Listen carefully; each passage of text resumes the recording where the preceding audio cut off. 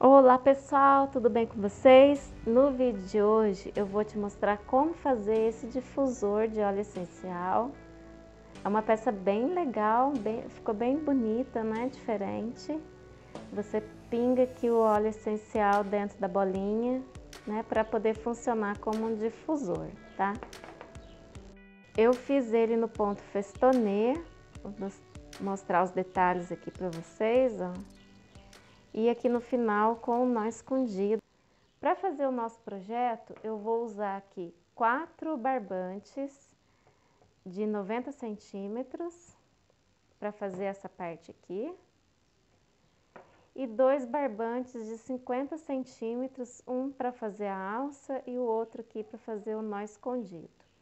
Vou usar também uma bolinha de madeira e uma argolinha de madeira também. Essa minha aqui é de 5 centímetros. Esse barbante que eu estou usando é o número 24 e essa daqui é a cor castanho da Soberano. Né? Maravilhosa essa cor, adoro ela. Vou começar pela alça, então eu vou pegar aqui o de 50 centímetros, vou dobrar na metade e vou colocar ele aqui com a laçada simples, tá? Passa a dobra aqui por dentro da argola e pega a pontinha por dentro da dobra. Antes de passar essa bolinha, como ela é tingida, eu vou pegar um pedacinho de barbante, ó, e limpar o, o furinho que ela tem aqui antes de passar o barbante aqui do meu trabalho, tá? Porque pode manchar o barbante, tá? Então, para não correr o risco, eu vou primeiro passar esse barbante aqui dentro, ó, para poder limpar. Como que ficou bem manchadinho, né, o barbante. Então, faz esse processo aí antes de você passar a bolinha pelo seu trabalho, tá? Vou passar aqui agora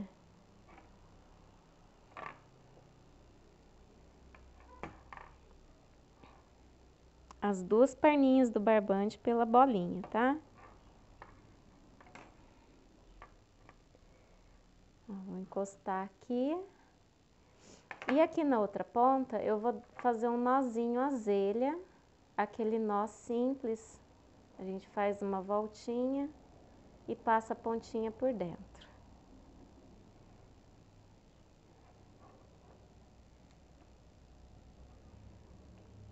Puxar bem esse nó para ele ficar bem firme. E o que sobrou aqui em cima eu posso cortar.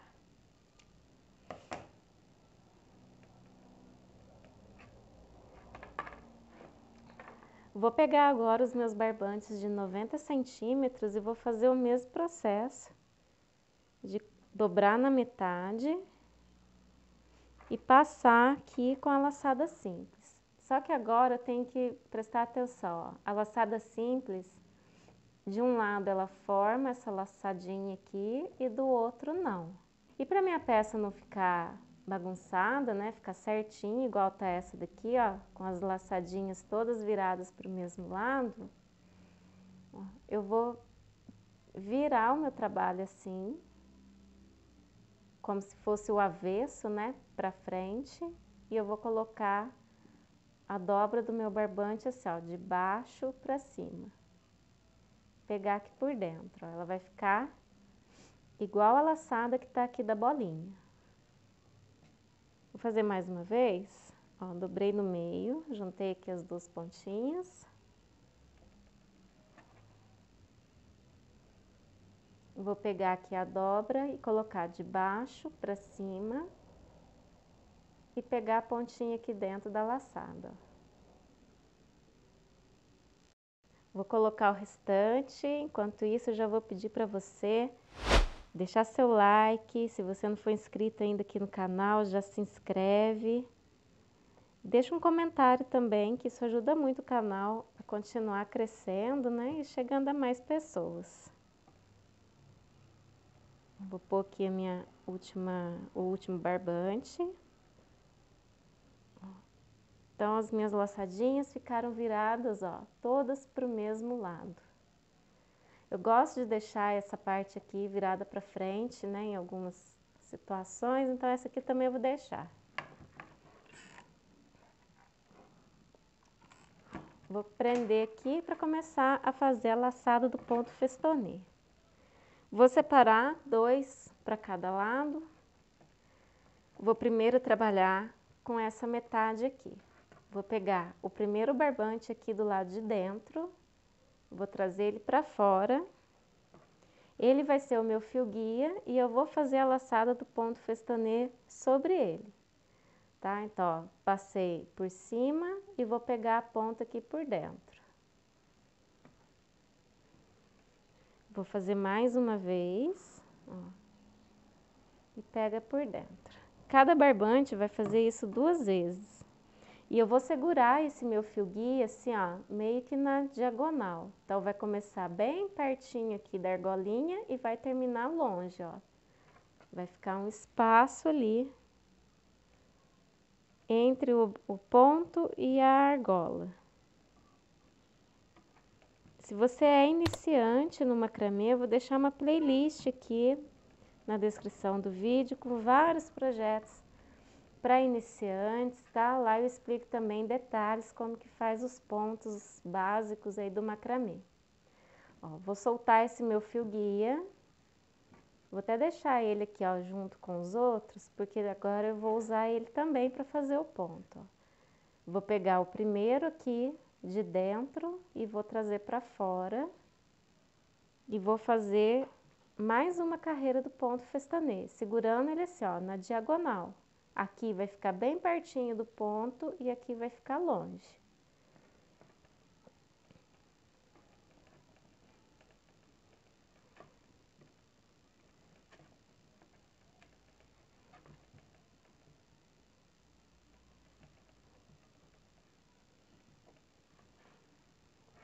Vou fazer esse processo mais duas vezes desse lado aqui, tá? Ficando com quatro carreiras.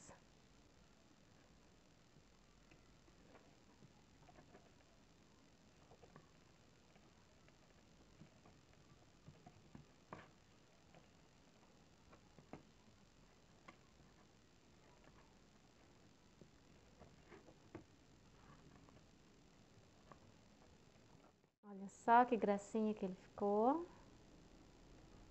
Vou repetir isso aqui desse lado, ó. Vou pegar o primeiro aqui do lado de dentro, vou trazer ele para fora e agora eu vou segurar o fio guia com a minha mão direita. E vou fazer a laçada da mesma forma. Passa o barbante que está embaixo por cima do guia e pega a pontinha por dentro.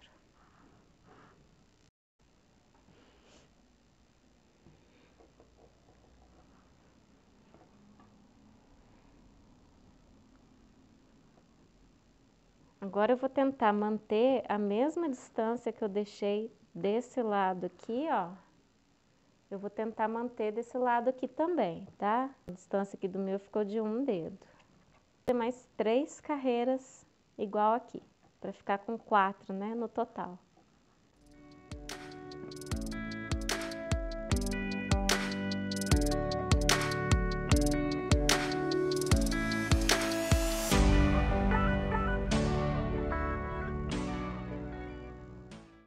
As minhas quatro carreiras do ponto festonê de cada lado, né? Ó, uma, duas, três, quatro. Agora eu vou juntar essas duas aqui, ó, o fio que tá saindo de dentro do ponto festonê. Eu vou pegar um de cada lado, arrumar esses barbantes aqui de trás, ó. Para poder juntar e fechar aqui com o último ponto festonê. Aí tanto faz se você vai colocar o lado direito em cima ou o lado esquerdo, tá? Você escolhe aí qual que você prefere. Vou fazer aqui minha última laçada. Vou deixar bem apertadinho para juntar tudo ali no final. Vou agora virar o meu trabalho. Esse aqui é o direito, né? Vou virar o avesso para cima para fazer um nó escondido, né? Para eu poder fechar todos esses barbantes aqui, dá um acabamento bem bonito nele. Então, vou pegar o meu outro pedaço de 50 centímetros, vou deixar uma pontinha aqui pra cima, ó, e fazer uma argolinha aqui embaixo, tá? Vai ficar assim a posição do meu barbante, ó.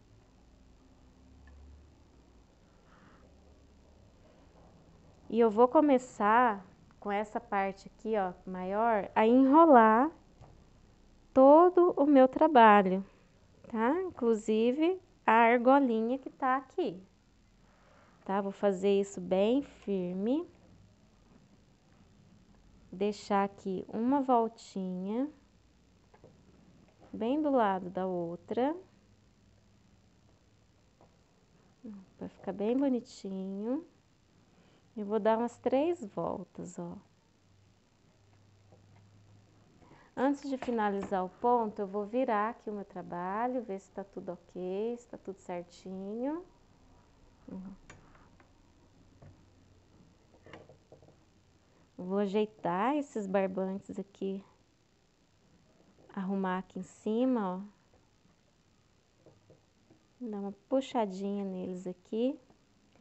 E agora, Ó, eu fiquei com meu ponto assim, uma pontinha pequenininha aqui pra cima, essa ponta que eu tava enrolando e a argolinha. Vou pegar a ponta que eu tava enrolando, vou dar a firmada nela aqui antes, ó, e vou passar por dentro da argolinha. Vou segurar e eu vou puxar essa pontinha menor. Quando eu puxar, a argolinha vai começar a levar essa ponta aqui, ó, lá para dentro dessas voltinhas. Ó. Vai sempre ajustando antes de finalizar, tá? Aqui eu, não, eu tenho que tomar o cuidado de não puxar muito forte, porque senão essa laçadinha que tá aqui, ó, vai sair aqui e o meu nó vai ficar aparecendo. Tá? Então, puxa até você sentir que ele tá mais ou menos aqui na metade das laçadinhas, tá? E aquela outra ponta que sobrou, ó, vai ficar aqui junto com o restante dos barbantes. Essa ponta maior, é, essa ponta aqui de cima, eu posso cortar. E aí, com a pontinha da tesoura, eu empurro o que sobrou, ó, essa, esses pedacinhos aqui lá pra dentro, ó, pra ficar bem Bonitinho mesmo trabalho, ó. Acabamento perfeito. E o que sobrou aqui eu vou escolher um tamanho, vou deixar assim uns, uns três dedinhos, ó. E vou cortar. Só como é que ficou o nosso trabalho.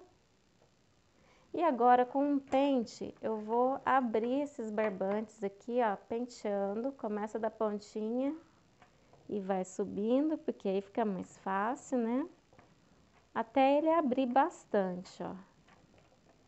Virar, fazer aqui atrás também. Faço isso, ó, as pontinhas aqui ficam meio irregulares, né? Então, eu vou juntar aqui tudo, ó.